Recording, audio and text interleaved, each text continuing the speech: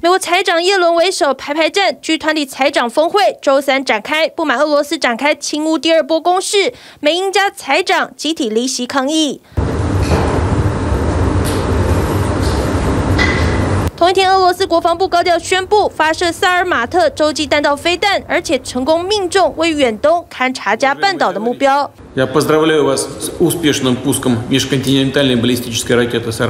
罗斯总统普京更亲自坐镇，视讯祝贺俄军达成任务。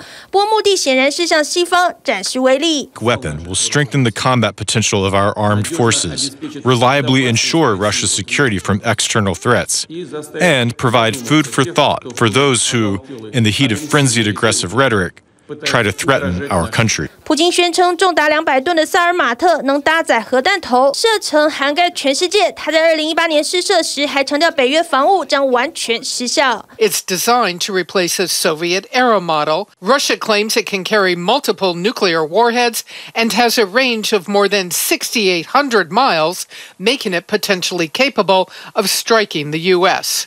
不过，美国官员强调，莫斯科在试射前已经通知，而且美国全程追踪。白宫回应藏玄机。The Defense Department said today that we did not deem the test a threat to the United States or its allies. 彭博报道指出，俄罗斯在乌克兰战事军损不断攀升，在国际更面临空前孤立同时，试射显然要警告西方，俄罗斯有能力进行毁灭性的报复。